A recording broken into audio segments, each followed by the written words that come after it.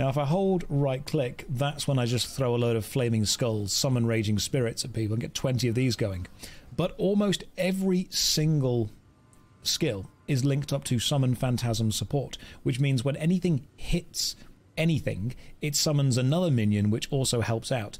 And because I've specced into the Guardian on the Templar kind of mini spec thing, whenever I hit anything, I have a chance of summoning even more holy relics. And I can also press R to do my summon big boy. Now, my big boy is lasts for 30 seconds, but is bloody brilliant.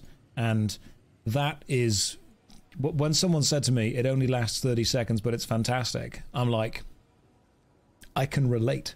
All right. I understand. You know, you and me, same level. I'm, I'm picking up what you're putting down.